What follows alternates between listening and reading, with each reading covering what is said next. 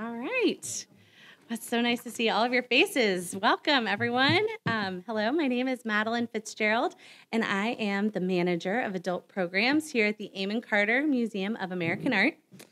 Thank you all for joining us this evening for the live podcast of Mountain and Prairie with host Ed Roberson and guest Spencer Wigmore and James Prosek.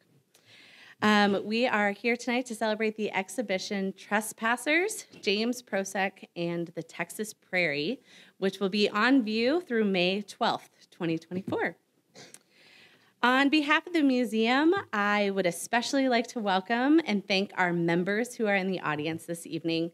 It is because of your generosity that our collection and special exhibitions are free and open to everyone. I would also like to thank the Art Bridges Foundation's Access for All program for their generous support of Second Thursdays at the Carter. Every second Thursday, you can connect with art through cocktails, conversations, and creativity. Each month, you'll find something different from performances, artist talks, and unique tours to art making, music, and films. We want to especially thank our supporters for helping make the Trespassers exhibition possible. Kim and Glenn Darden, the Richard P. Garmany Fund at the Hartford Foundation for Public Giving, Jones Wajahat family, and Fernando Urito. I would also like to thank the staff at Hired Hands for providing American Sign Language interpretation for tonight, tonight's talk. Thank you. Thank you. I have the uh, great pleasure of introducing our speakers this evening. Our host, Ed Roberson, is a Colorado based conservationist and the creator of Mountain and Prairie, a top ranked podcast that has been recognized by the Aspen Institute, Patagonia, the Nature Conservancy, Cowboy Artists of America, Maxwell Alexander Gallery, the Arthur M. Blank Family Foundation, the Montana Governor's Office, and more. For nearly two decades, Ed's career has focused on land, water, and conservation in the American West, he worked as conservation director at Palmer Land Conservancy, a ranch broker throughout the Intermountain West, and a board member and advisor to numerous Colorado conservation organizations. He holds a BA in economics and an MBA from Wake Forest University. Joining Ed in conversation this evening are Spencer Wigmore and James Prosek. Spencer Wigmore is curator of fine art collections at the Minnesota Historical Society in St. Paul, Minnesota, before starting this role in the fall of 2023, he was the associate curator of painting, sculpture, and works on paper here at the Carter, where he curated nearly a dozen exhibitions, including Trespassers, James Prosek, and the Texas Prairie. He is the co author of the Carter Handbook and the editor of a forthcoming multi author volume on the fraught legacy of Charles M. Russell. He earned his PhD in art history at the University of Delaware and is currently revising a book on the landscape painter Albert Bierstadt. James Prosek is an artist, writer, naturalist, and Yale graduate who published his first book at 19 years of age. Prosek's work has been shown at numerous museums and galleries, including the Royal Academy of Arts in London, the Virginia Museum of Fine Arts in Richmond, Virginia, the Asia Society of Hong Kong Center, and the Smithsonian American Art Museum, among other institutions. With solo exhibitions at the Aldrich Contemporary Art Museum in Ridgefield, Connecticut, the Addison Gallery of American Art, the Philadelphia Museum of Art, the New Britain Museum of American Art, the Buffalo Bill Center of the West, the Yale University Art Gallery, and the National Academy of Sciences in Washington, D.C., among many others.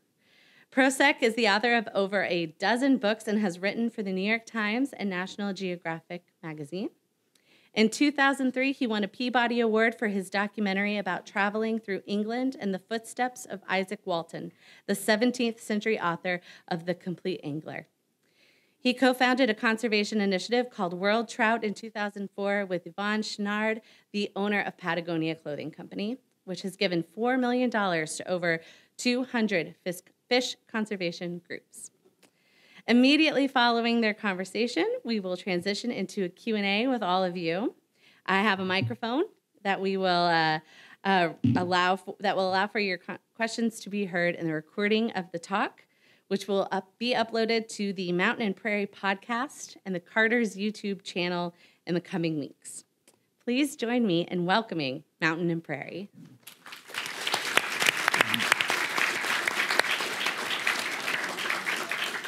Thank, thanks, Madeline. Um, it's a real honor to be here. Uh, whenever I hear resumes like these two guys, I'm, I'm always just like, how did I how did I end up here with all these super smart people? But when I when I started the podcast nearly eight years ago, it was really just kind of a side project to talk about uh, you know subjects that interested interested me, but probably more important, the people that were behind these subjects that interested me. And it started out with a real focus on conservation and then it's very quickly started going in all these different directions into art into natural history into uh, you know philosophy and kind of the longer it's gone on the more esoteric it's gotten and i was talking to my wife and i was saying if you pictured all the subjects that i'm interested in on a venn diagram there's this overlap in the middle and it's kind of like a pinprick and i've thought i bet i'm the only person in the world that has all these weird interests put on this one spot and then Spencer was nice enough to introduce me to James. And James has not only does he have all those interests, but he operates at an extreme high level in all of those subjects. And so he's kind of like my, in some ways, my soulmate for all these crazy things that I'm that I'm interested in. So it's just been great getting to know both of these guys. And I was thinking we we could start with Spencer because I, I believe when I think about your role in this amazing show, you're kind of the, the bookends, you know, the, the initial spark, and then you actually helped install the, the, the, the, the program. And so I was wondering if you could talk a bit about how this came into your mind. What was the initial spark of an idea that led you to approach James and, and tell him what you were about your crazy idea? yeah, yeah, it was a crazy idea. Um, really, I think it's kind of two threads that came together in this wonderful serendipitous way where in um, I think it was maybe the spring of 2019, my colleague Maggie Adler had been in touch with James about borrowing a picture to display in our collection galleries as a loan, and I was helping with the logistics of this, and just got chatting with James and there was just this shared wavelength the two of us like really from the start like hit it off. He had this sensibility and attentiveness to the natural world that really resonated and I immediately was like I want to work with this guy like what can I do here at the Carter that can make this happen and um, often when working with contemporary artists the Carter is really invested in exploring Texas history and culture and I knew okay that was the angle I wanted to find with James. And I was thinking about ideas, and I had this flashback to my childhood where I, I grew up in um, a suburb of Minneapolis, Minnesota, um, Elk River. And I was fortunate to have a summer job working with this local conservationist, Dave Anderson, who did small scale prairie restorations on city properties.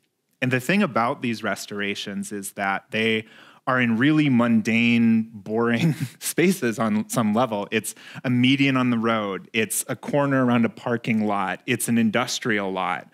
And these, I fell in love with prairies in these mundane spaces that just didn't fit my conceptualization of what was natural, what was wild, and I got thinking about that uncertainty, and I brought it to James as an artist who's really invested in those boundaries of the, the human and non human and where they intersect and merge. And I said, you know, these spaces really resonate with me. There's this amazing grassland conservation world in Texas that I'm just learning about. Would you want to explore it with me?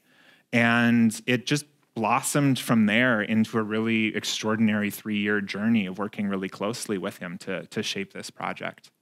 And so, James, what was your initial thought being a, a guy from the Northeast and somebody comes to you and says, I want you to dive deep into Texas grasslands? Because when you, when you find a subject that you want to learn about, you go very deep.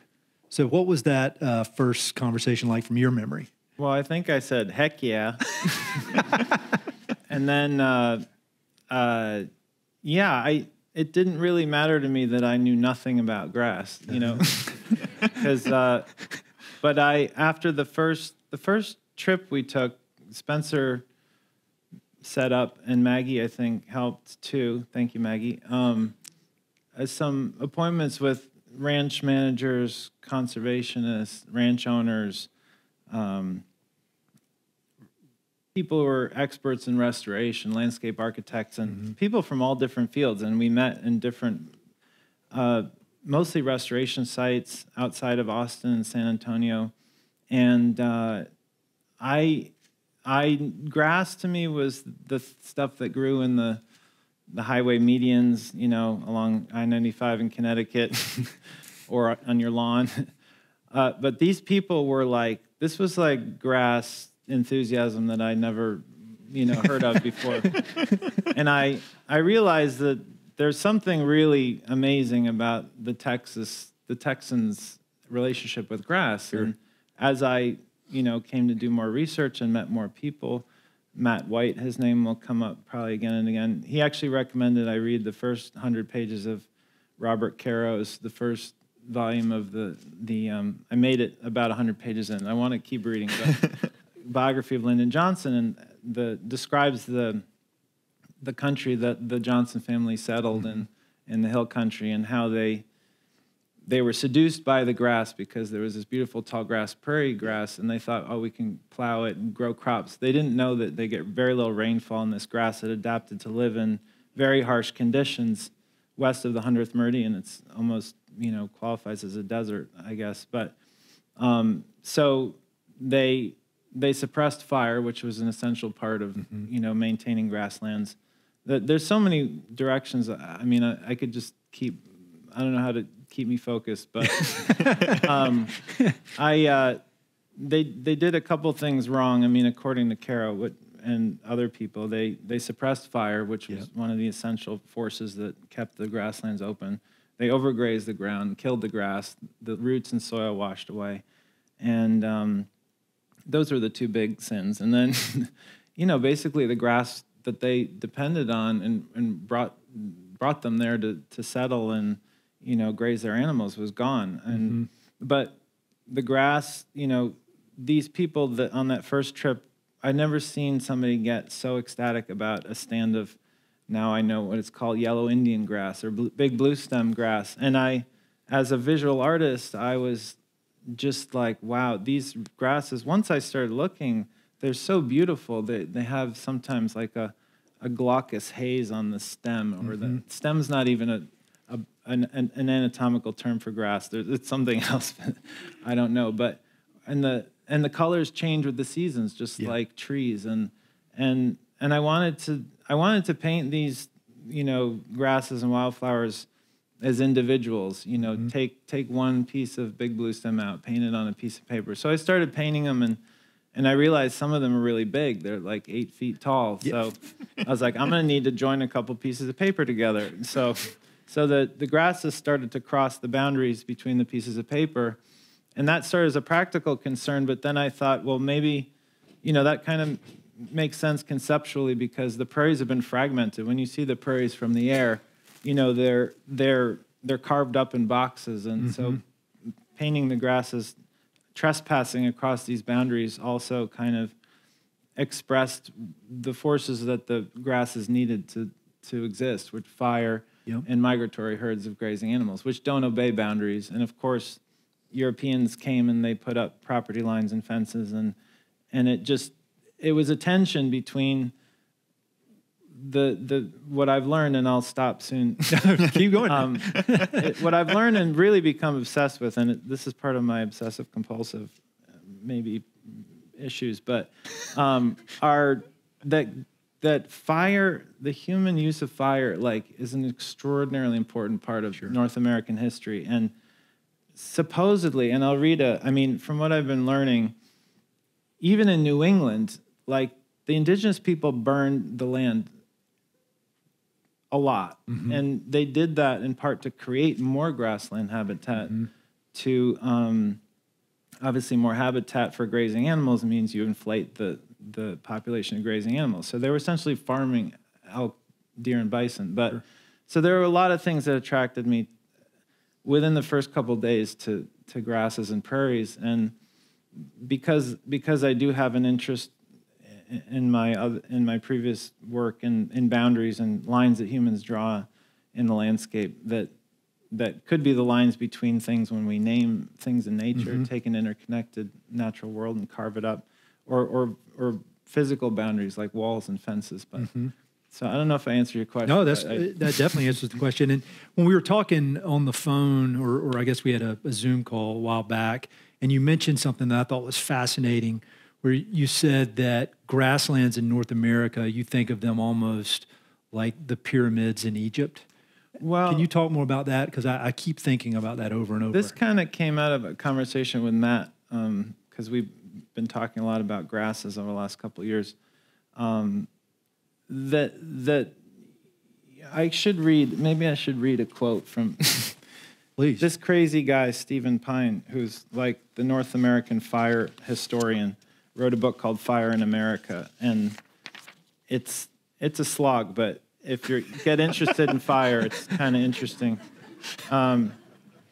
Fire and fire and grass are genetically associated.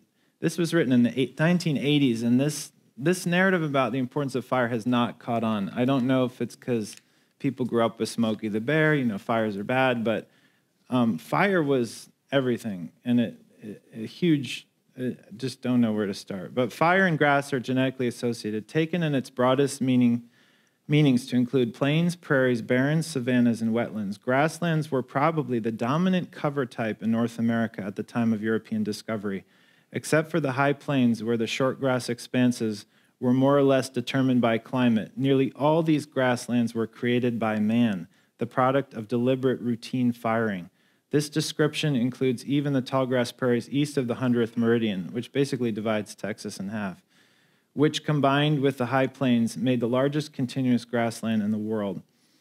So, um, yeah, the idea of, of so if if this guy Stephen Pyne, and he's not the only one to have written this, and and this is, you know, there are many many early colonial accounts of of how the, the indigenous people burned, when they burned, why they burned.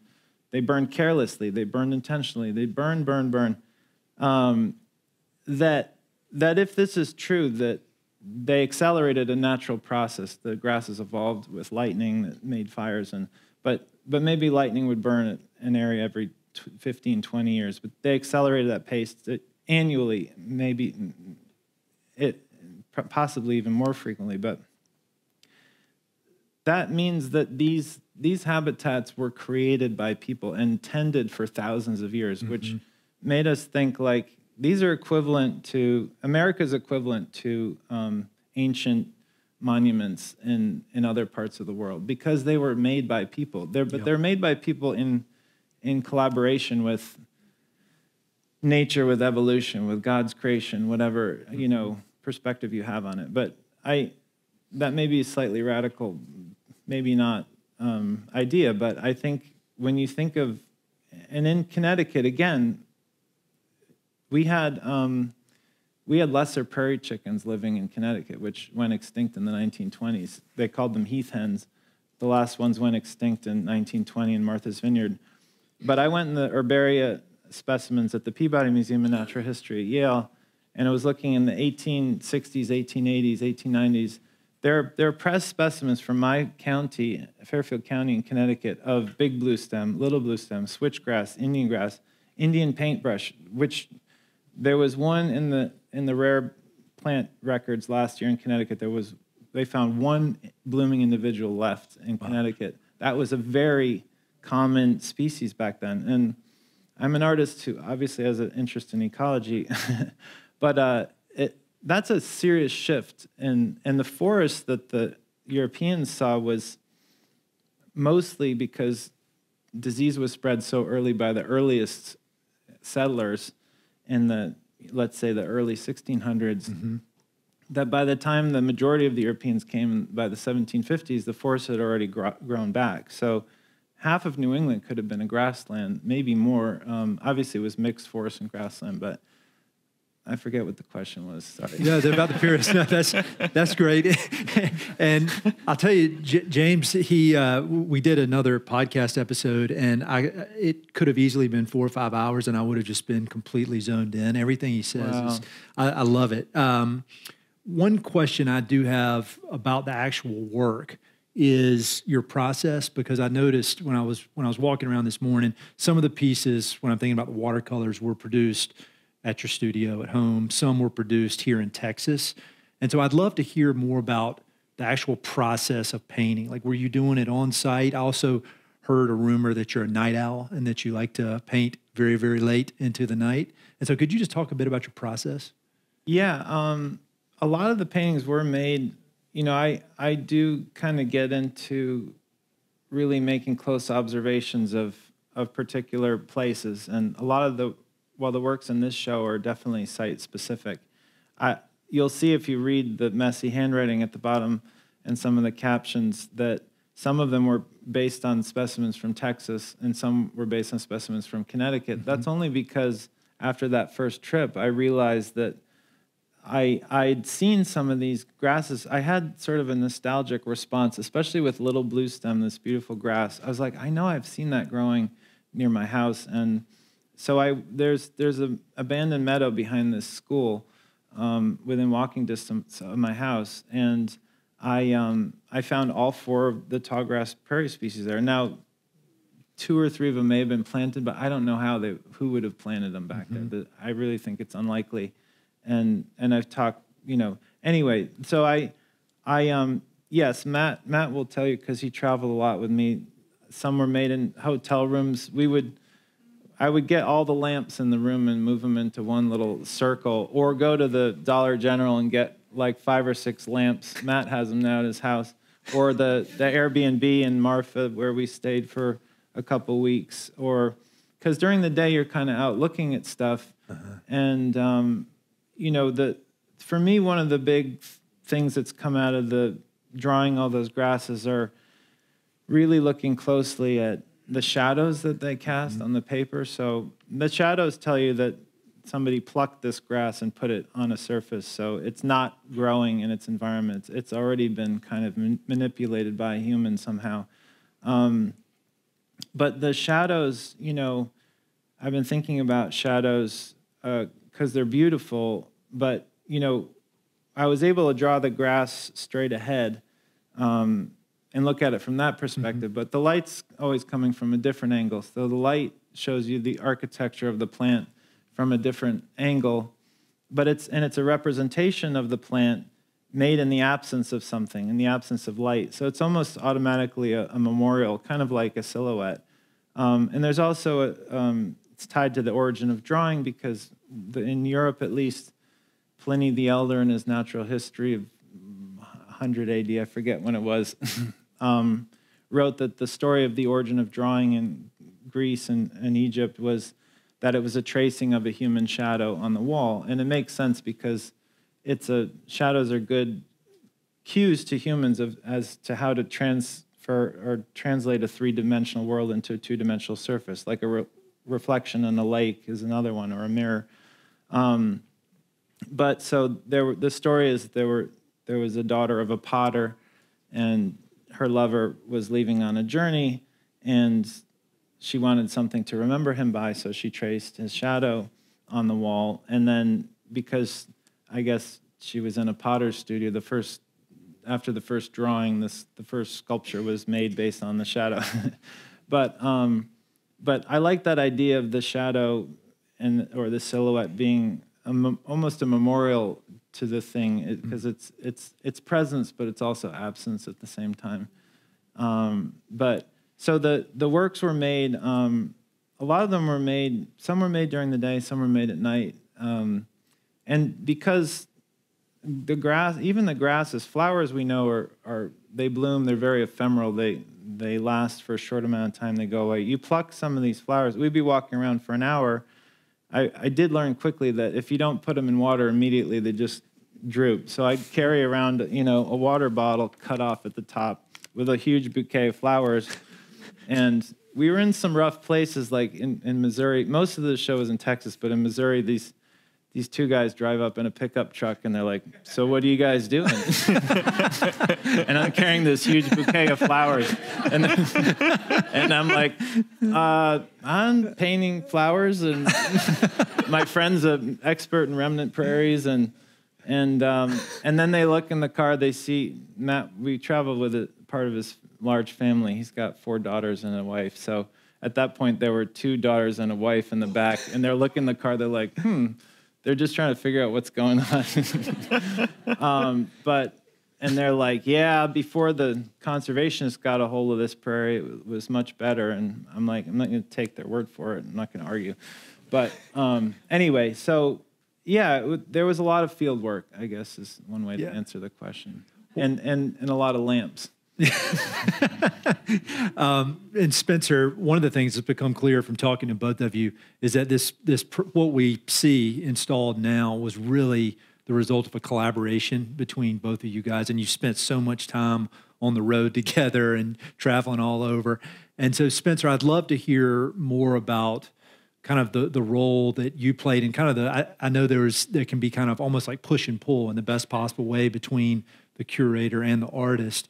And so Spencer, could you just talk a bit about from your perspective some of the the, the road trips you went on and kind of how you helped how you helped James kind of come up with this final product that we've seen up there that's so beautiful. Yeah, I'm still finding seed and plant fragments in the trunk of my car. In your It's car. been years. Um, Maybe some will sprout.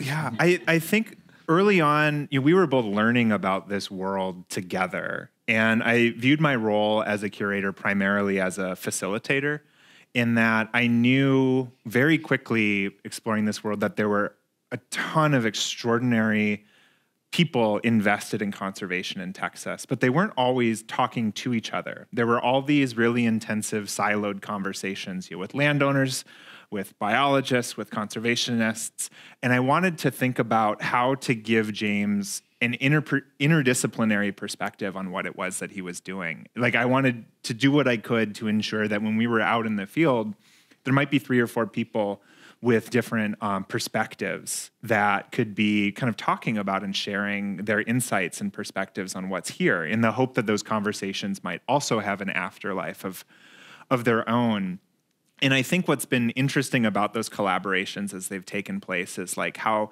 consistent James's vision for what this project has been, even as the subjects that we're working with have evolved over time. Like to give a brief example, when I started this project, you know, I was I'm really interested as a historian in what it means when we create a boundary around a concept like nature and say all of these things outside of it are not natural.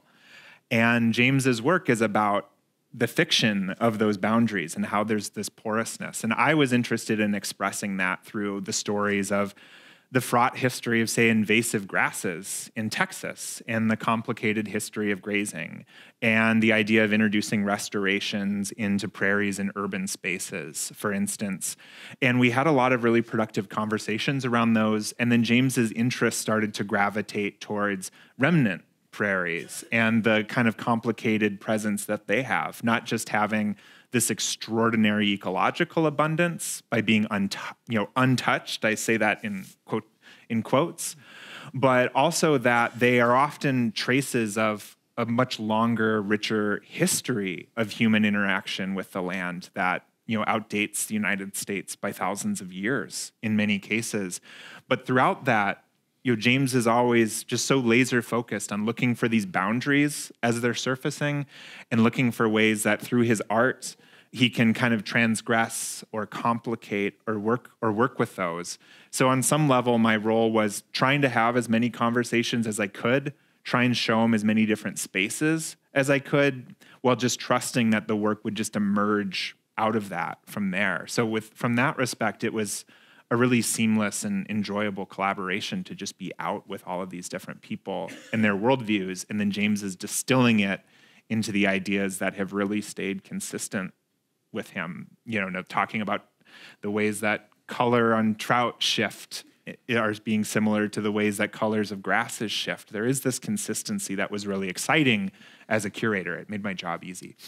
Well, Spencer, yeah, I mean, I think uh, I'm grateful to him for introducing me to grass because he grew up in Minnesota. I think that was part of his nostalgic consciousness too. And um, but he also helped coordinate, especially in the early, the first year, a lot of um, relationships with people in Texas who own land or you know knew things, and you know through through different avenues, you know, we met Matt and but you know, Spencer really had already helped build a network for me that was a, a starting point. Um, and uh, so I'm I'm really grateful for that. One specific piece, I mean, we could we could spend an hour on each one of those pieces, but but one that caught my eye was the Fort Worth composition number one, and that one, in a lot of ways, in my from my untrained eye, I'm sitting here with two experts, but it, it you know all the other work there up there is very you know based on the natural world, and that one has more human elements than natural elements, and I'd love to hear more about that piece and what the inspiration behind that was. You want me to talk? Yeah, or both of you. If I don't want to. I don't want to call out people by name necessarily because they may not want to be called out by name. But I'll say his first name at some point. But I, I was, you know, this project started in Fort Worth, and then I, I, I happen to know somebody through my relationship with, um, with Yale and the museums at Yale, who you know spent a lot of time in Fort Worth, grew up in Fort Worth, and also is involved with the for lack of a better word, the cowboy culture of Fort Worth and the ranching culture. And, and, and Ed was very generous also in, you know, showing me his land and, and stuff. And, you know, talking about, there are just so many people who've come from different directions and taught me things about this, um, this world of, of the human relationship to grass, which is thousands of years old. And, um, you know, the other authors have called humans pyrophytes. We're fire-dependent animals, and a lot of the a lot of the grasses we cultivated are are fire-dependent also. Um, a lot of the grains and and the animals we domesticated are fire-dependent because they depend on fire to maintain the grasslands. So so the ranching culture. This is a this Fort Worth composition piece has a bunch of silhouettes of cowboys and and um, and you know. Uh, different images associated with cowboy mm-hmm. culture. Sure. Guns, uh, lariats, um, spurs, uh, and there's a painting of a of a, longhorn cow in the middle or bull. I'm not sure I even know the diff- I know the difference, but so I I felt like you know because uh, and I and I was told by Ed educated that that uh, Fort Worth is where the West begins. That's what makes it different than Dallas. And so I wanted, because the show's in Fort Worth, I wanted to comment on that that culture, which really, I think, started uh, dependent on grass. And um, and uh, you know, it, it's the only piece in the show I think that has human figures, um, but it's facing the largest piece in the show, which is a composition of silhouettes of all the different animals that have lived in the prairie. And there's 17 that are painted in color, ones that, to me, you know, communicated special stories. And um, so, uh, so yeah, I still haven't been to the rodeo, but I'm planning to go in the next couple weeks. uh, but I, I just was aware that this culture existed and that it was an important part of Fort Worth and an important part of the history of grasslands. And it mm-hmm. just kind of happened. But nothing, nothing, nothing really beyond that. There was, there were no really deep thoughts about it. It was just okay. kind of, I just want to make a picture with cowboys. Yeah, there it is, right there. you know, it's just, it's fun. It, it, it could be seen as controversial or you know, but it, it, I didn't mean it to be that way. I love that. And um, another very obvious piece when you walk in that will, you know, when the show leaves, it will leave is the mural. And I think people who are familiar with your work know about how you'll you'll label with numbers, um, you know, these black and white silhouettes.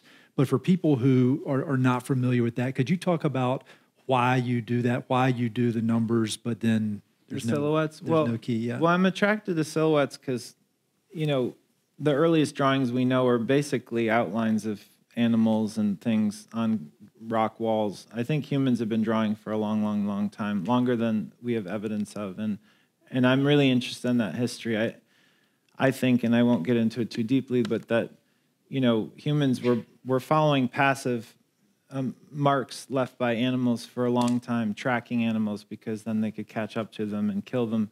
And at a certain point, they're like, oh, you know, these marks carry a lot of useful information. Maybe we can instead of just making them passively by walking in the mud or the snow, we can make them intentionally. And somebody probably had a hand covered in blood and they went oog on the wall. and, you know, that, that's the first drawing. I mean, to me, the first, mark made with intent, and then look at it and reflect on that and be like, Uh, you know that that handprint was made by my grandfather, mm-hmm. and that these marks can actually survive uh, many generations, thousands of generations even, and communicate a lot. And and these marks evolved into our you know drawing into pictographs into our mm-hmm. written languages. So, so the silhouette's something I'm interested in. But, but more specifically with these murals of silhouettes and numbers, I had these silhouette, these these field guides as a kid, and I loved these field guides of birds in North America or whatever. And, and some of them had these silhouettes in the end papers, and each of the silhouettes had a number next to it, and the number match up to, matches up to a list of names of the birds, let's say, to help us learn how to identify them in the field. And often in the field, the bird is backlit. You don't get to see the whole thing. Um, and oftentimes you just get a silhouette, which c- can communicate a great deal of information.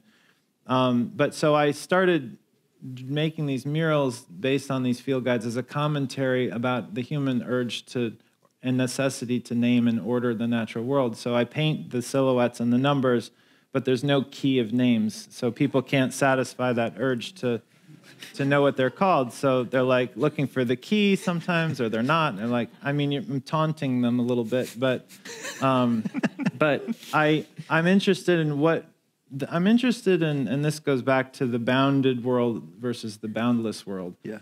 And and I feel like humans have lived in a tension between it's it's pretty much also the ordered world and the and the non-ordered world, or the world that hasn't been ordered, the world with maps in the world where you travel without maps, and or the to me the named world and the unnamed world is the same. The named world is the world where we take an interconnected holistic continuum that's constantly changing and we draw lines between it and we label the pieces. To me that is a trauma that we subject nature to. We, we carve it into pieces, we chop it up, and then we expect when we name those pieces and talk about nature that the, that the pieces will make the whole again. But once you carve it up, the whole is different. It's not mm-hmm. the whole anymore. yeah. But but but you know, communicating with language is really good, and we couldn't have this conversation without it. And when you put the pieces back together, you actually create sometimes a different whole that's just as rich as the whole that existed before. yeah. So that's that's a little bit about the the commentary about our dependence on language. It's kind of like you know traveling without a map. Mm-hmm. You know, just looking at nature without needing to label it, um, or or at least just just acknowledging, helping myself and maybe other people acknowledge how dependent we are on on tools like language. There's a quote in a Wallace Stegner novel where he says, order is the dream of man. And ever since our first conversation, I, have thought about that, about how you kind of push these boundaries and even the, the playfulness of having the numbers without the key. I mean, I think it's a very interesting concept. One other, another question about one of the pieces up there, several of the pieces, the charred wood and the, the charred bust with the grass growing out. It's, it's interesting to me that you know, everything we're talking about the grasslands and with fire, it's things you know come and go. They they they they grow and then they die and then they go into the ground and then they're reborn over and over. Whereas bronze is about as permanent as you can right, get. Right. Could you talk about was that a, a, a conscious choice? I mean, uh, in part. I mean, a lot of these things happen because I see something I think is pretty, and then, or that I'm attracted to, and then I want to make it. And but then after the fact, I construct some baloney narrative about it. but, Tell on podcast. But yeah. it's but it's real. It's it is real. And I so I I the the fire the the uh, the burn logs in the show are cast in bronze, but and I every year for the last 20 years I've had this really big New Year's Eve bonfire in my backyard in the woods. And one of the years I was just picking through the the ashes and I was like, wow, these chunks of burned wood are really beautiful. Like they're they're shiny, they're like uh-huh. graphitey, they're they're craggy, and I I went through a, a long process of trying to work with a foundry to to cast them in brown, bronze to make them permanent because you can't you can't make we've figured out you can't really make a mold mm-hmm. Typically, you make a mold of something you want to cast in bronze. You make a wax from the mold. Then you make a ceramic shell around the wax, and then you pour the bronze in the ceramic shell. It melts the wax out, and you get a bronze object. With the burned wood, you can't make a wax a, a, a rubber mold because it's so brittle. So so I worked with this guy. He's like, maybe we can build a ceramic shell around the wood, make a hole in the bottom, and then blow blow air in there and make a really hot fire and burn the wood out from inside the ceramic shell, and then make the bronze. Anyway, that's that's technical stuff, but it it took a couple years to figure it out. This show gave me an opportunity to show the, these burned logs because fire was something I wanted to um, talk about uh, as a force that's necessary on the prairies. Um, but yes, and the and the flowers are made of clay. Um, both of them, as you said, are and we talked about this. Uh, uh Spencer and I have talked about this. They're very ephemeral.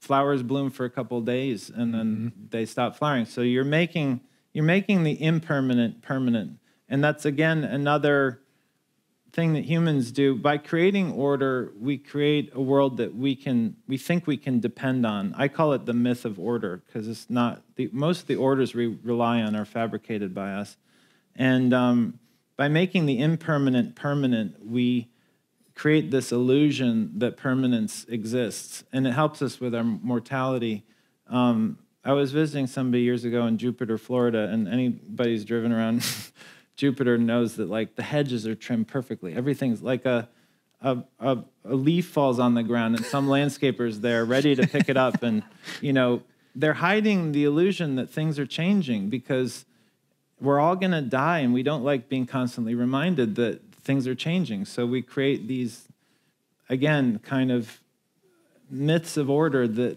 help us with this mm-hmm. and and so I, really the, i wanted to make pretty flowers in burn logs because I thought they looked good together. But that's that's that's sort of um, part of the the idea behind it. Um, when I really do like love these plants. I I don't know where that comes from. E.O. Wilson called it biophilia, but part of the part of the part of the adoration is manifested in trying to create a, a version of it, like sure.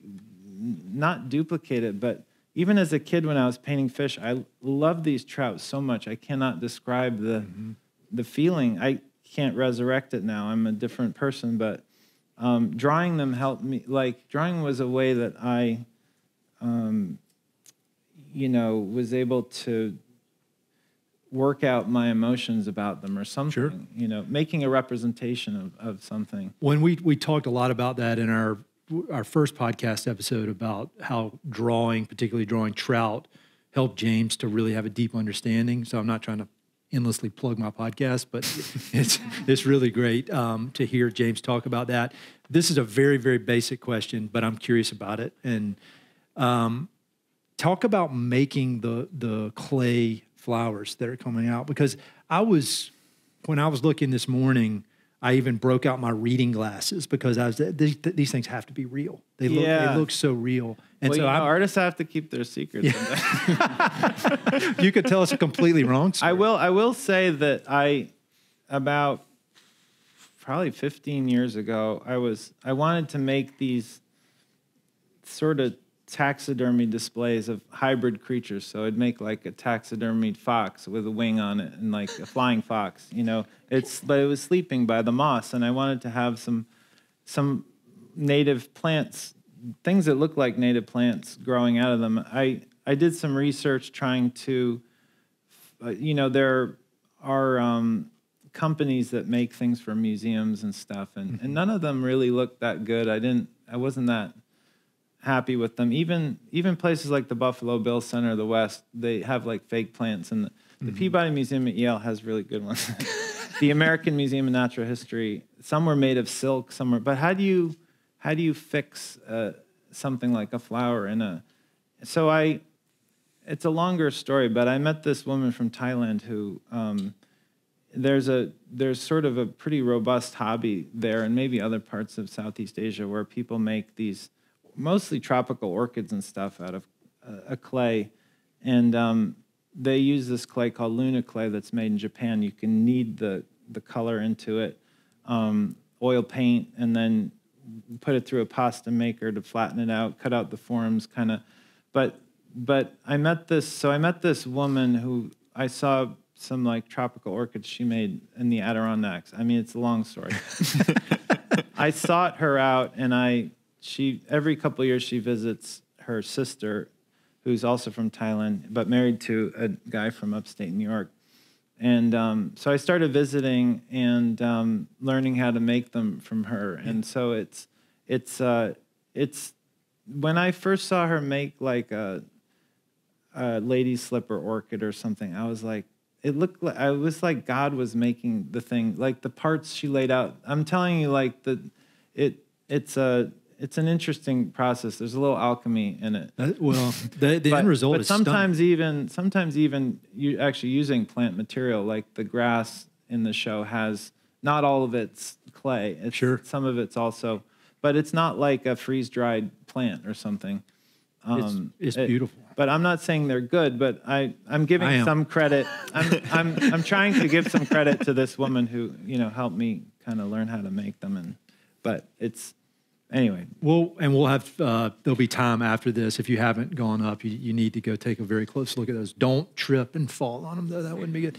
Um, Spencer, one question for you. Uh, you know, you obviously had this spark of an idea, and then you were you and James went along this journey to to have what we have upstairs. And what's been the biggest surprise for you? I mean, I, I know it was this idea of let, let's get let's let James do his thing here, but I'm sure there was some vision, even if it was a very broad one, in your head about what the end result would be. And I'm curious if there were any big surprises along the way, either during the process or with the final result.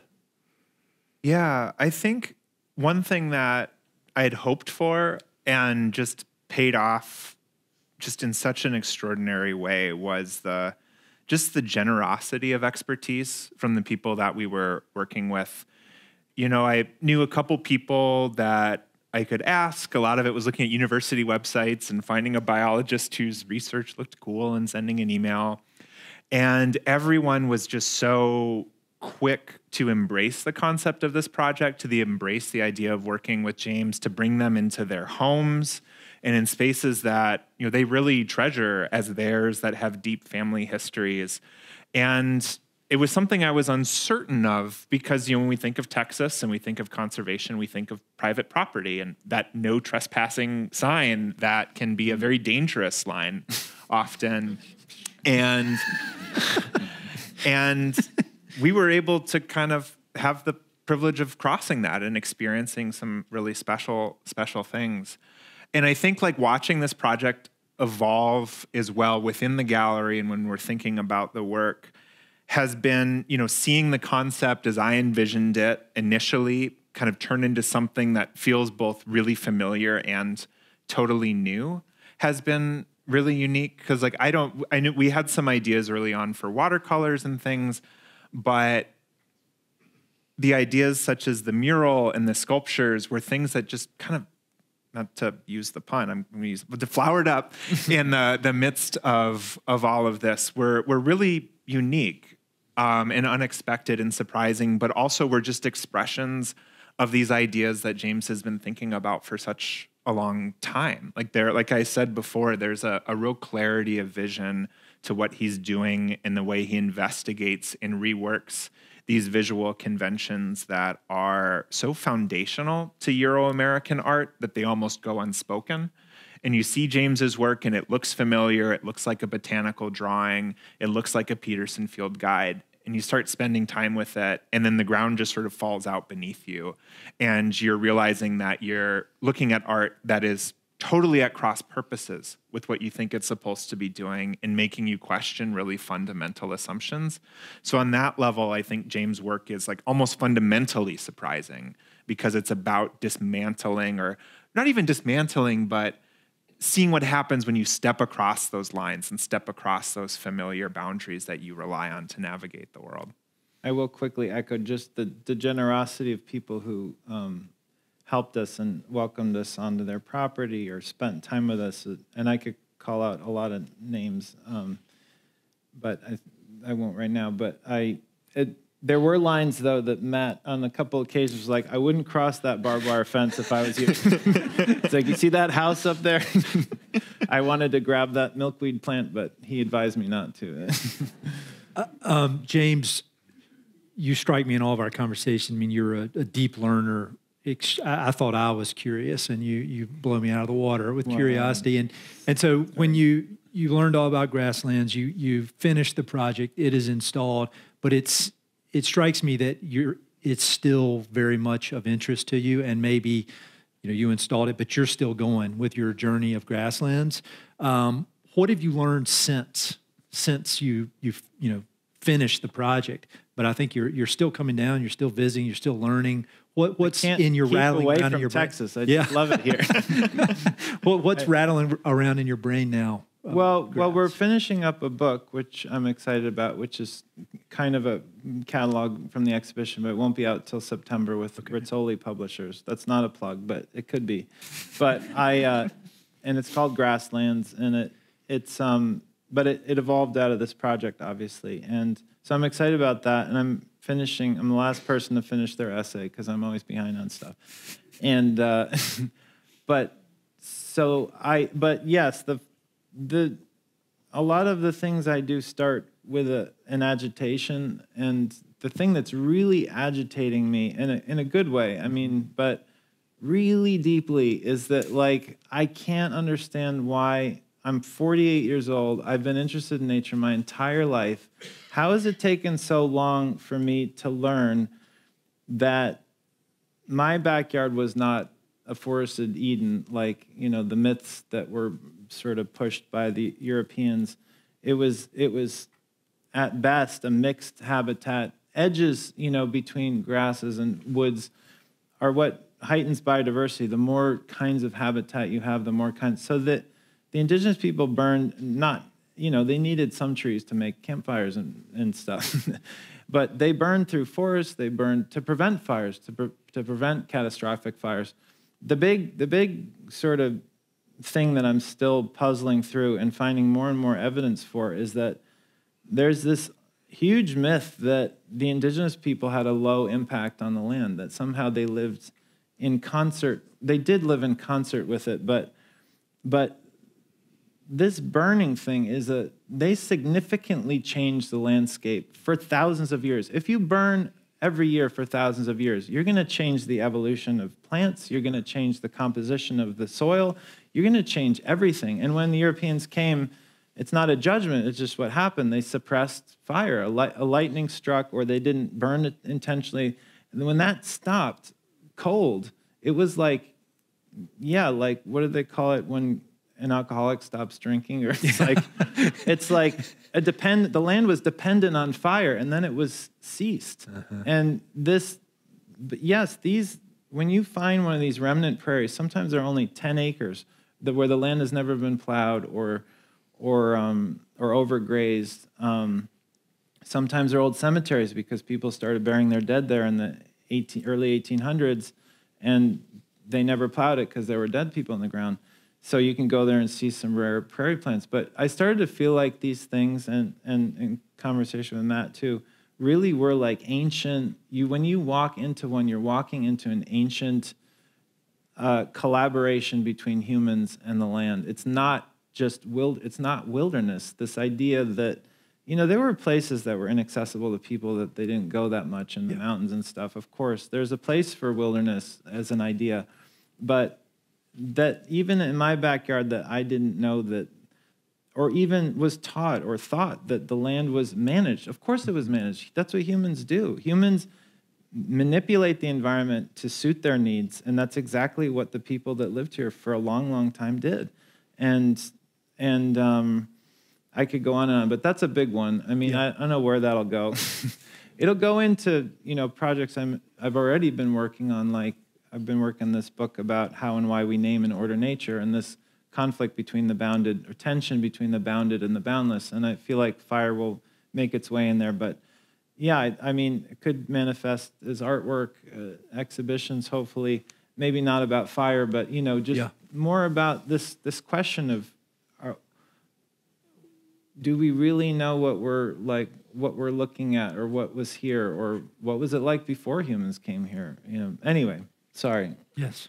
Well, but and it's I really think, like stirring well, and I think this idea of fire, which kind of came in partway through the project, like it almost feels to me like when I go upstairs and I look at those cast bronze sculptures that like they're finished and beautiful and extraordinary and feel like that kind of the first chapter in a new set of ideas because I think those sculptures are almost deceptive in how fundamental of questions that they are posing about how we represent the world. Because you step in and you look like, okay, these are burned logs and flowers, like they transposed them into the real space.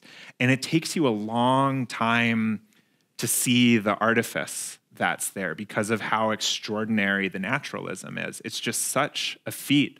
But there's, I experience this shift that happens where once you see the artifice and you see the permanence of the bronze, the fragility of the clay, the care of the brushwork, all of a sudden you have this object that's so fundamentally different than the thing that you're representing, which is inherently ephemeral, it's inherently impermanent.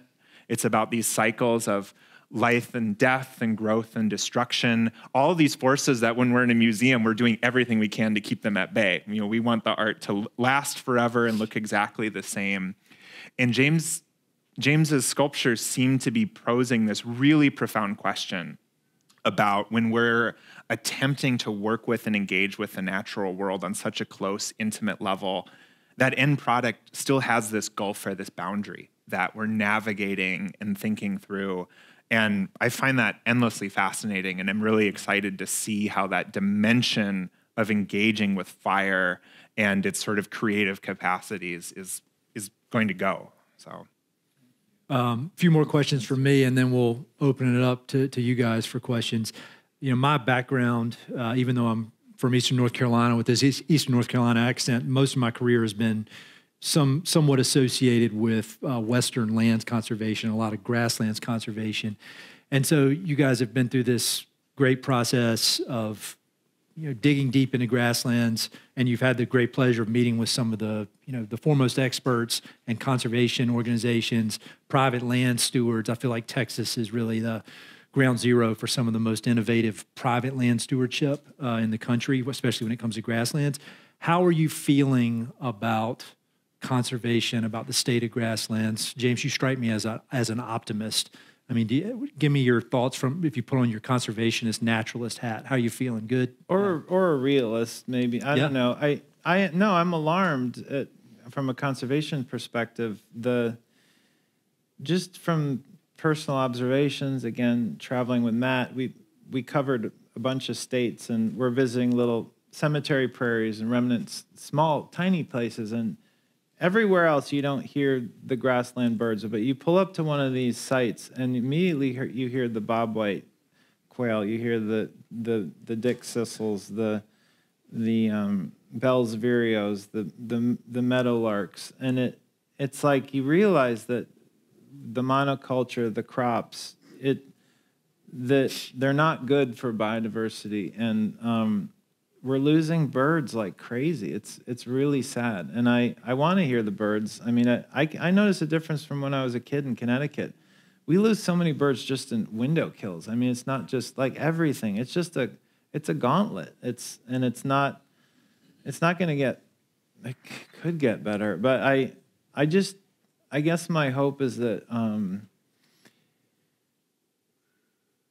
these these really precious sites that exist can be preserved at least as a library of biodiversity that mm-hmm. you know we can maybe build on. The the enthusiasm for restoration was pretty huge in some of the several thousand acre ranches we visited. Like they're really trying we don't know if you can restore a prairie. I mean it it could take 200 years. I mean to get that that thing we don't know that special sauce that the the mycorrhizal fungus, the roots of the, the grass is holding the water in a certain way. I don't know if that can be recreated. Again, it's been fragmented to the to the point where that trauma is so severe, we don't know if you can return it. Mm-hmm. But you can try. I mean, I actually started a little grassland restoration, or I mean, next to my house, we have some meadows, and I planted about a quarter acre of native grasses and wildflowers, and it's it's a constant, you know, fight between the non-natives and the natives, and Mm-hmm.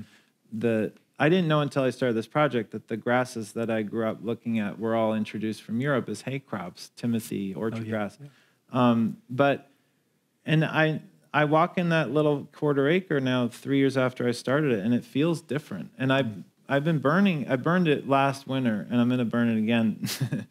um, I don't ask anybody; I just burn. It. Um, Want me to edit that out? no, no, not at all. I mean, it, I grew up in the town where I live. I think the local volunteer firemen know me, so it's okay. I live in Easton, Connecticut. Come get me. Um, I might burn it next week.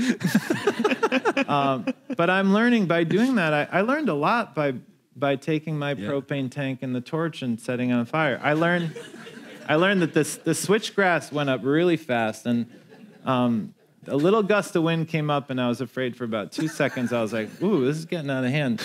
But then it, but once it burned out, it burned out. It burns and it, it's just done, you know. And and and a couple of times I had to try to light it again because there wasn't enough fuel on the ground not enough dead grass. So, um, anyway, I uh, I guess I try to be optimistic. I I'm I'm excited to continue to learn and to work with people who are doing great things. There's a lot of great things being done out there, and there's people in this room who are involved in incredibly important conservation work. And I think enough people care, and and obviously bringing young people out in remnant prairies and showing them. I couldn't see, and I I, I feel like I'm a pretty good observer. I mm-hmm. couldn't see these landscapes until somebody took me out and showed me. I could have driven by these remnant prairies and had no idea what was there.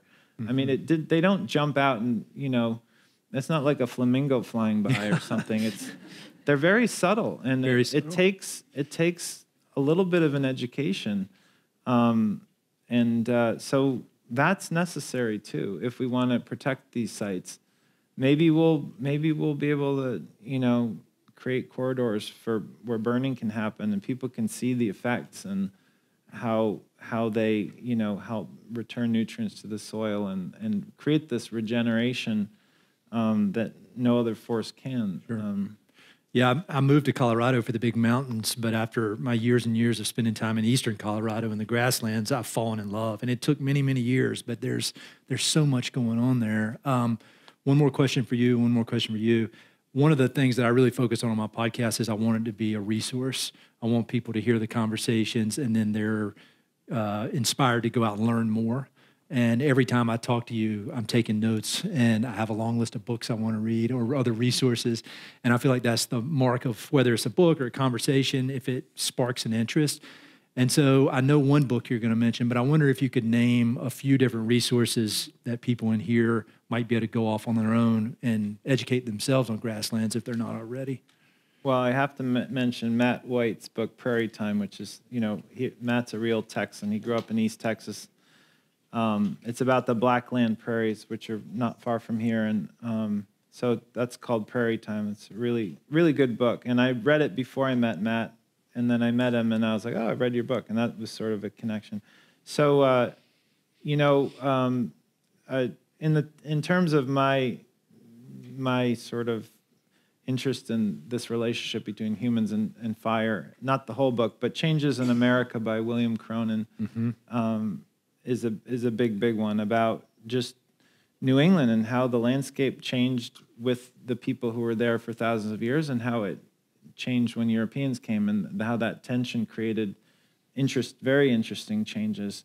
Um, but he he also like Pyne is very clear that like indigenous people managed the land in a certain kind of way, and the land that the Europeans encountered was a land that had been managed um, intensively. Um, I, I'm not sure I'd recommend all these books like as reading material, but um, you know, Fire in America by Stephen Pyne. Um, there's a book by a guy named Omer Stewart called Forgotten Fires that um, he was a, an anthropologist at UC Berkeley in the in the 40s and 50s, and he he'd written a whole manuscript about all this stuff, and he couldn't get it published. Um, I think partly because you know, the narrative was so anti-fire, but people were really like breaking ground and even interviewing. He was in California interviewing indigenous people about how they used fire, and there's like like real oral accounts um, that are really important. Um, so I yeah I like to I like to kind of you know my Antonia mm-hmm. I hadn't read it I hadn't read Willa Cather until this project started. Um, it's a good one. It really is. uh, some of these, I must confess, I don't always read, but I'm listening to them while I'm painting or something. It's a way that I can do research while I'm drawing. Um, and uh, so, yeah, there's more. Those are great. Um, Spencer, I had the pleasure this morning of have you sh- having you show me around the space up there, and I think that's a a pretty cool deal to be able to have the curator of a of an exhibit tell you exactly his thought process of how it all came together. And so, for my final question to you, and then we'll open it up. Um, I'd love for you to kind of talk about that space because if I remember correctly, you said it's the eleventh eleventh show you've done up there. Is that right? Something something yeah. around there, yeah. And so, as people have the opportunity to go up and look around when we're done here, could you just talk a bit about the space and kind of your thought process of getting it all set up? Yeah, it's it's a really interesting gallery within the the Carter's exhibition space in that it's the kind of the it's the most intimate special exhibition space we have, which really creates an opportunity to have really close, intimate encounters with smaller groups. It's it's a great way to explore one idea really thoroughly and carefully. And with an artist like James, where you're going to be spending time being drawn into these subtle details, this um, you know almost deceptive naturalism that's luring you in with something familiar and presenting you as something completely different, you need kind of that time and space to have these encounters with art that are really intense. And so a lot of the work, honestly, putting this together was.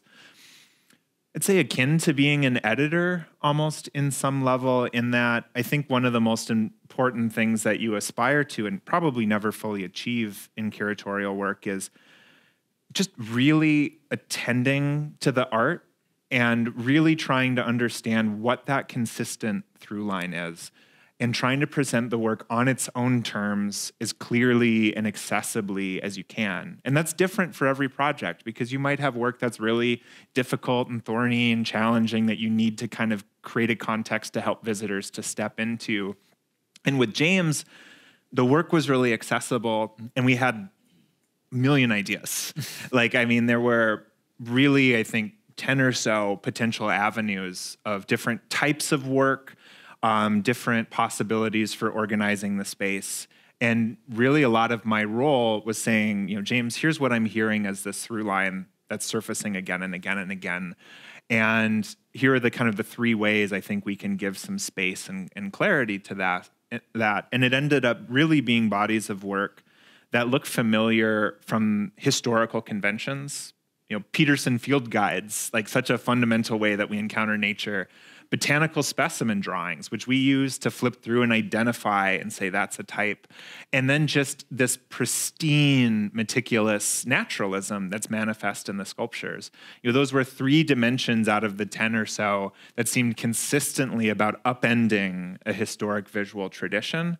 And that to me felt kind of like the core of the project from an art historical perspective is thinking about how these spaces these extraordinary prairies you know these city medians in elk river minnesota that if you really care for them and spend time with them and become attentive to them can just just just shatter a lot of the categories and conceptions that we have of what nature is.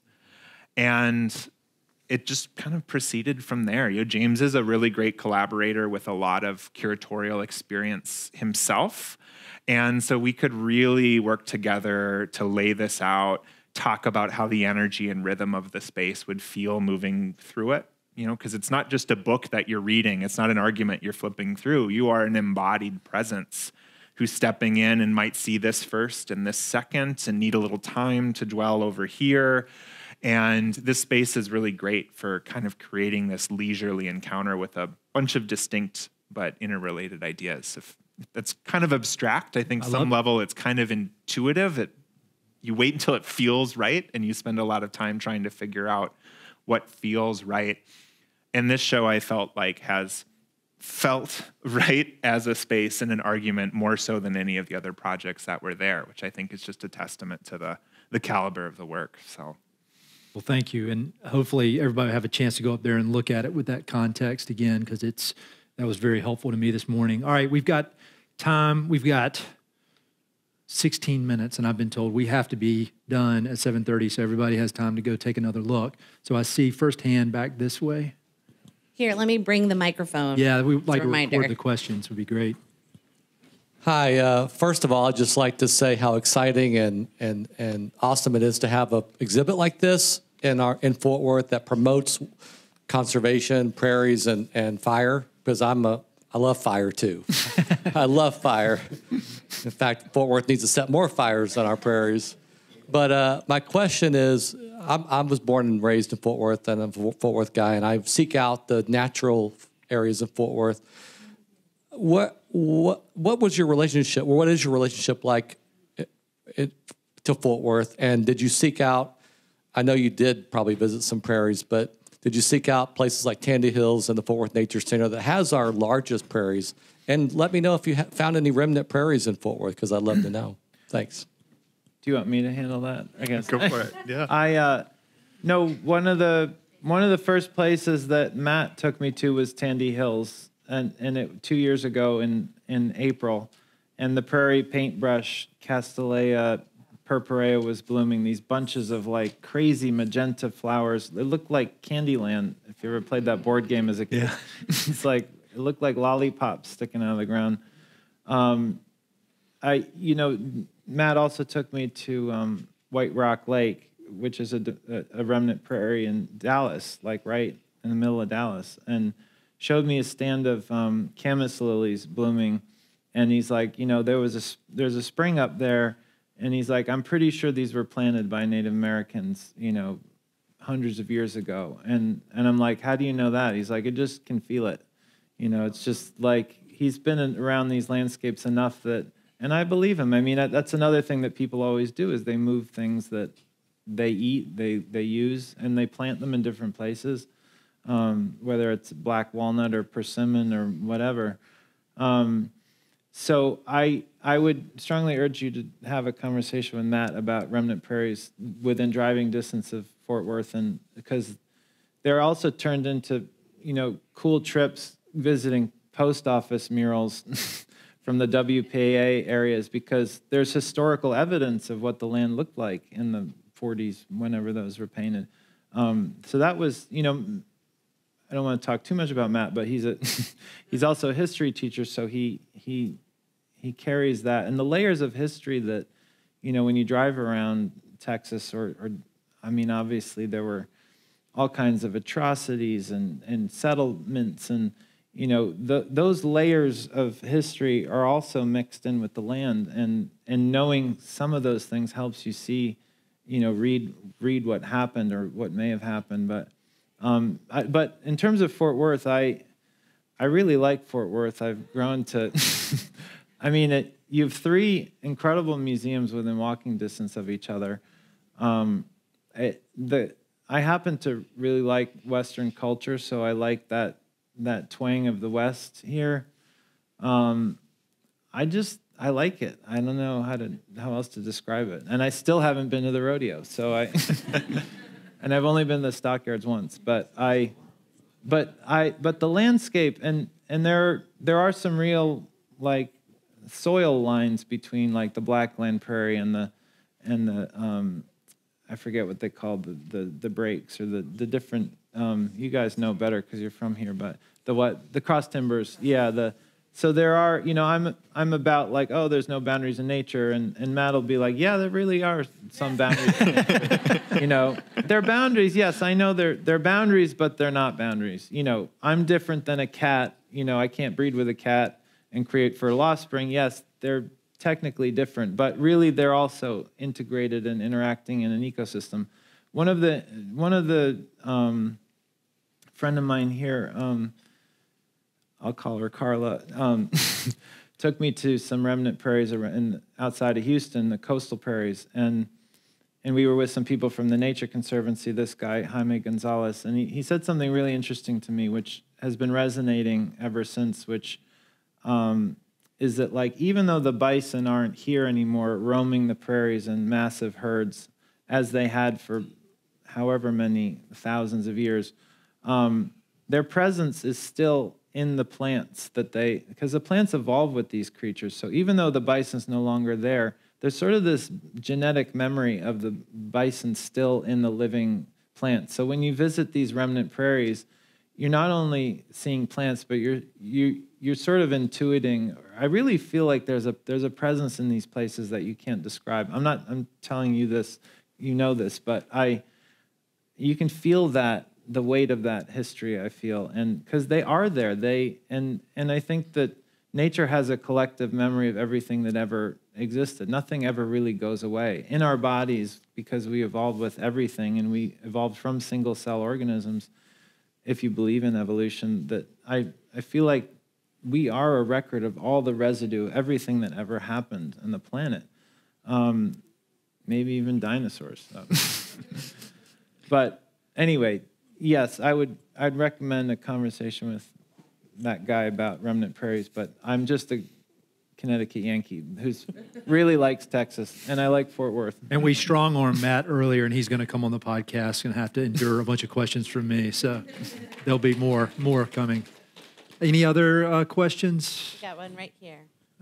So, thank you so much for representing Texas outside of Texas. I'm real appreciative of that. But at the same time, I grew up on a ranch myself. Controlled burns was like a daily, unfortunate thing, and along came the allergies. But my question is like, where did all this bias come from? Because yeah, I see the fires in Hawaii, I see the fires in California, and it's so clear that there's very little land management going on in these locations.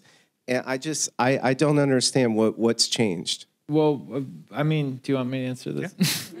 What's I think the big fundamental thing that's changed is that fire has been suppressed for so long that the fuel loads, you know, picture a forest, the Indians would burn to prevent fires. They would burn around their camps because it creates a fire break. If you burn, there's no fuel for a fire to go anywhere. So they would burn through forests. But if you burn regularly, you burn the, the leaves, the underbrush. Um, it made it easier to navigate through the forest. It made it easier for them to, to hunt without being detected because anybody who's walked on dead leaves knows it's, it makes a lot of noise. Um, this is all described very clearly by um, a lot of different people in the past. So, so the the issue, the reason fires are so bad today, and this is, I'm not an expert on fire, but I've been trying to learn more, is that fire, if a lightning strike happens and starts a fire, we put it out. Fire, every time a fire, natural or man-made, anthropogenic fire or natural fire, we put it out, and that's that's a problem because the fuel load, all the dead wood. You, you, I walk through forests in my backyard. It's all the dead stuff is, you know, for 40, 50 years is on the ground. And if a fire starts, it has the potential to burn hotter and faster. Fires, when the indigenous people burned through the forest, wouldn't burn the trees because there wasn't enough fuel to get the fire going. But if you if you have so much dead material that the fire's huge, it's going to burn everything. And how many millions of acres burned in Canada last year.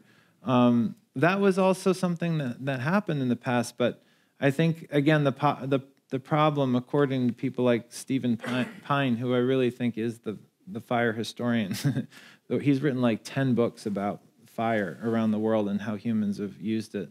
Um, it's that they call it the fuel load. The fuel load is built up to very dangerous levels houses are also part of that fuel load. You know, unfortunately, nomadism and the way that people lived with fire had to be, you know, not not sedentary because it was a life following migratory animals, and fires, you know, can't be controlled when they get really big.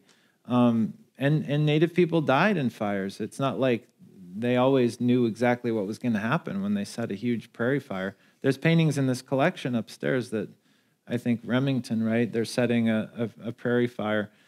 Um, but um, anyway, I think that's one of the fundamental problems There's a great book by Timothy Egan called Oh, that's Big, a new book. yeah, right? Big Burn, and it's about Theodore Roosevelt and Gifford Pinchot and their kind of the federal policy about suppressing fires in the early 1900s, and that kind of sets the stage. That's been very helpful for me. That book's getting a lot of attention. Yeah. All right, we got one in the middle. Excuse me.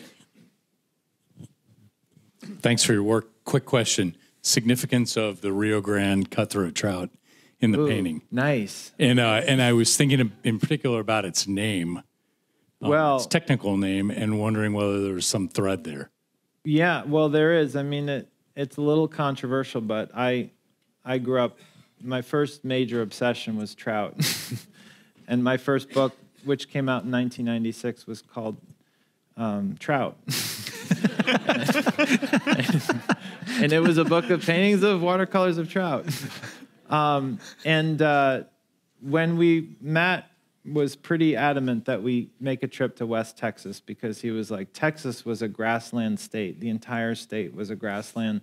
It's only you know it's Chihuahuan Desert. You know there's not a lot of rain, but um, the uh, the um, uh, you know the landscapes changed because it was overgrazed and and and fires were suppressed and now it's you know creosote bush and cactuses and lechuguilla and and which were there but they've they've overtaken what was more probably a compositionally grass.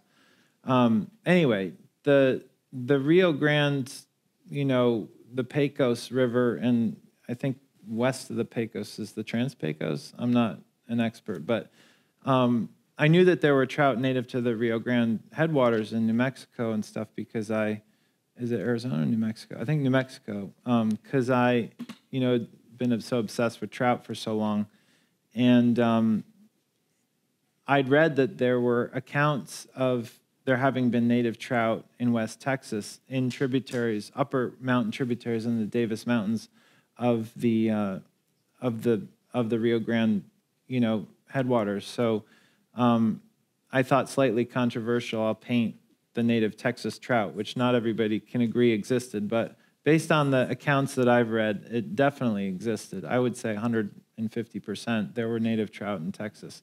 Um, and anybody who's been in those mountains knows that it's not like what everybody would think of what Texas looks like. Um, but so I put it on that big prairie composition in the in the corner as part of a nod to my childhood passion for trout, but also a nod to the uncertainties about what the land was like um, years ago. And now it's pretty certain that they're gone. But how cool would it be to rediscover the native Texas trout? I would make it the new state animal. I was thinking about fontinalis salmo. The, the brook trout. What's that? Which well, Fontinalis is the Rio Grande is named Samuel Fontinalis, and that's a moss. A moss. Oh, I didn't know that. Oh, cool. You know, it's from the Latin anyway. I was thinking Well, Salvelinus fontinalis is the brook trout. Um, You Cool. could say that on your next podcast interview. Next that was part of the plan all along. Um, Madeline, We've got time for, I think, just one more question. Okay, And great. we've got one down this row. Here, y'all. Pass it down. Thanks. Uh, this is sort of related to the previous question, but um, I like fly fishing. I also like painting watercolors of the fish I catch, and I noticed there's a Guadalupe bass in your Nice. prairie composition there. I was wondering if you did any fly fishing uh, during your field research. I would say that's one regret. I don't think I brought a rod on any of the trips, um, but we did see Guadalupe or Guadalupe bass in uh, the headwaters of the Guadalupe in the water, and I think what was the the creek in Shield Ranch that headwater creek. I'm drawing a blank. He said he said that this rancher said that they were Guadalupe bass in a little beautiful. uh, That was one of the first sites we went to. Was this guy um, Blake Murden. Blake Murden was was so into this stand of Indian grass that he'd restored. He was like, I mean, really going like fits of rapture, and and it was, and that was one of the first. I'm like, what's he? Is he talking about grass? and but about how the deep roots hold the water, and he said as soon once they'd restored some grasses around the headwaters of this creek, the water filled up again in the creek because without the roots holding the water back, I'm telling a lot of people things they know, but the water just runs off the land and isn't retained. So with the with the with the um, return of the water, it helped the Guadalupe bass. But I I did talk about going try to catch one, but that's one thing that hasn't happened. So maybe, hopefully, leave something for a future trip. but I did paint it. Um, Oh wow. Well, this has been great. I, after my first conversation with James, and then I'm thinking it again after this second one, I feel like his his artwork kind of speaks for itself, and it's just so stunning and so beautiful. But it's really the tip of the iceberg. And when you see the depth of his thought and his curiosity and his experimentation, and just how how much is going on behind the scenes, it makes this beautiful art even more stunning and more interesting, and it makes me think and I'm going to be thinking. I probably won't sleep much tonight because I'll be thinking Wow. about this. But thank if you, if so much. If you much. spend enough time around me, you'll realize I repeat myself a lot. So it might sound novel the first time around, but then it. well, thank y'all. Thank you. That was great. Thank you, Ed. Thank you. All right. Thank you all so much again for your wonderful questions. Thank you, Ed, James, Spencer, for your thought provoking conversation. Uh, I invite you upstairs to our mezzanine to check out Trespassers in the last 30 minutes of tonight's Second Thursday. Thanks all. Thank you, everybody, for coming.